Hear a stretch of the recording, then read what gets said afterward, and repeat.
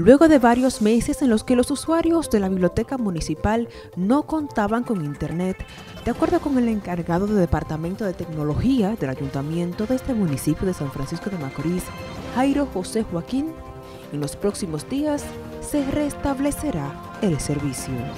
No, en los próximos días ya la biblioteca tendrá el Internet. Fue cuando hubo la remodelación que se le hizo, se, hubo problemas con el servicio pero ya en los próximos días se instalará el servicio porque además los equipos que no teníamos los, los equipos que valían la pena y ya están puestos los equipos y la red interna está lista. O sea que en los próximos días ya la biblioteca también tendrá el servicio de internet. De acuerdo con las declaraciones del funcionario, suman seis los centros estudiantiles a los que se le instaló internet gratuito, dentro de los cuales está el recinto San Francisco de Macorís de la Universidad Autónoma de Santo Domingo, UAS. Giovanni Cordero, NTN, su noticiero regional.